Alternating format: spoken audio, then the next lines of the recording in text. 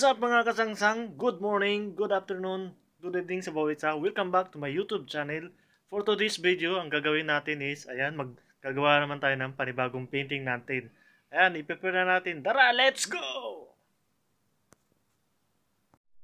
Mga kasangsang, yung binili nating canvas, ah, 50 by 70 yung ah, sukat niya. Ito. Yan mga kasangsang, ang gagamitin lang nating ano, black acrylic paint. Yan. Lemon yellow acrylic paint. Tsaka may ano tayo, white. Kasi black and white lang yung pinakatima natin. Tsaka yung brush natin. Ito lang yung gagamitin. At saka, ito naka-ready na tong canvas natin na pip- ah, 30 by 70 na canvas. Yan, umpisa na natin. Tara, let's go!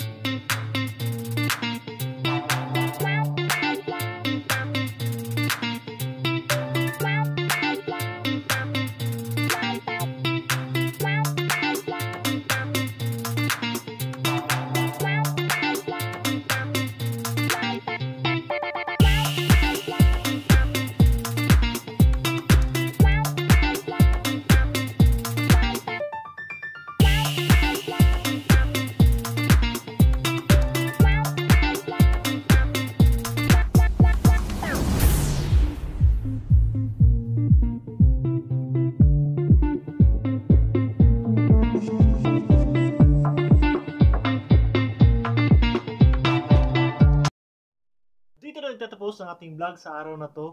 Uh, sana nagustuhan nyo mga kasangsang yung nagawa nating painting today. Ayan, ito na po yung finished product. Ayan. Sa mga bago pa dyan, uh, mag-subscribe na kayo sa ating YouTube channel at i-hit notification down below para pilit kayo sa mga susunod nating video. Like, share, and subscribe! God bless!